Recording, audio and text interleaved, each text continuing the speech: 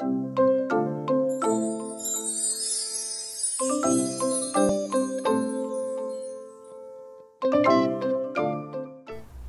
everyone, welcome to the Little One's Dreambook. Today we will show you how to write with your voice using your Android phone.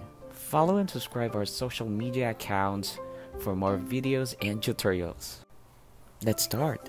Step 1 Open your phone, then your voice recording app. Step 2 Setup. On the upper right of your screen, press the setting icon and make sure that the recording format is in MP3 or WAV. Then you can go back to the recording screen and start recording. Step 3. Press the record button to start. Once finished, save it with your chosen file name. In this case, I choose chapter 1. Step 4. Check your recording by pressing the lower right menu icon. Select your recording then press save as.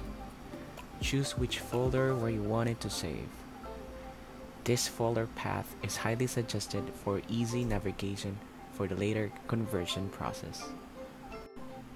Device or phone name, then Recordings folder.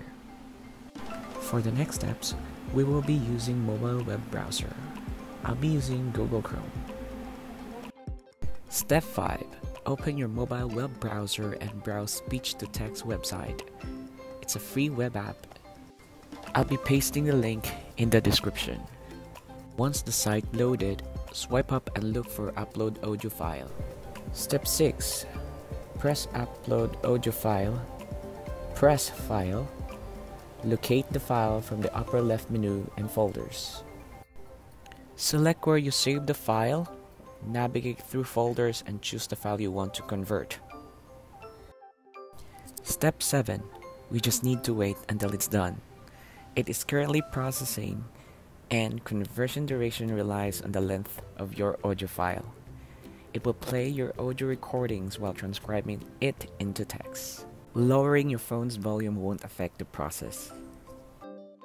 There are some discrepancies in transcribing, but hey, it's free.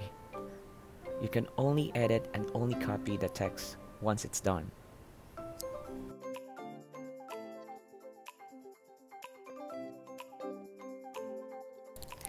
Thanks for watching. Hope you enjoy and please like, comment, share and subscribe for more videos.